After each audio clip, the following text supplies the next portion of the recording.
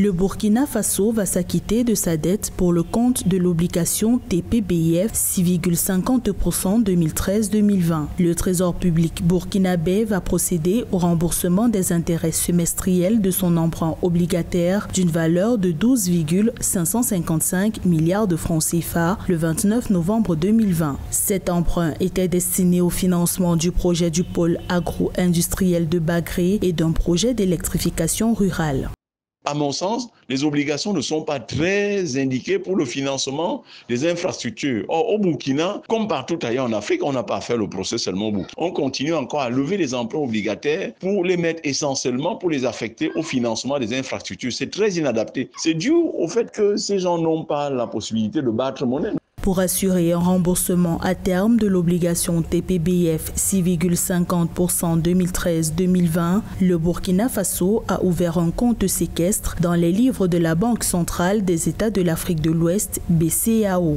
Ce mécanisme de remboursement sécurisé a été régulièrement approvisionné pour répondre aux différentes échéances de paiement des intérêts et du principal de l'emprunt.